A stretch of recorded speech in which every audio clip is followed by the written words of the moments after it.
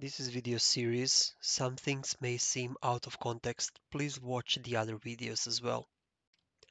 Finally, let me show you how you can export the information about layered structure in Excel file or CSV. I'll use Excel. So if I go to the tool and click export layer schedule, I can use these checkboxes to basically choose what I want. So for example, I can switch on and off if I want layers widths and layers and widths separately. So whenever I click apply, I will see the preview happening here. What is also important is that information displayed here is linked to how you set up the tool in additional settings. So let me demonstrate. For example, if I want widths without the millimeters or other units, let me go back here to additional settings.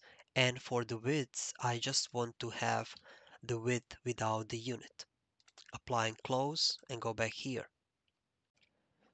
Other interesting features may be, for example, you can reverse floor or maybe better wall layers, but let me reverse the floors because they are here on the top so you can see what's happening. Okay, next thing is you can play with how the elements are arranged inside Excel spreadsheet.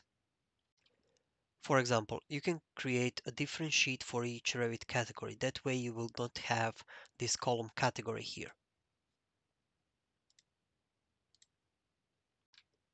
Whatever changes you are making you can see the preview here or you can go straight to Excel and see there.